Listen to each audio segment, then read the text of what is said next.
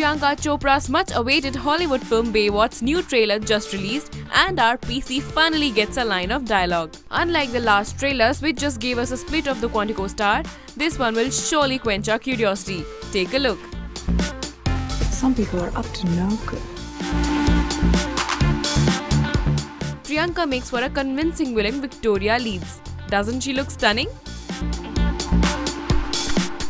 Baywatch is all set to release on 26th of May this year and also stars Dwayne Johnson and Zac Efron in the leads. News Desk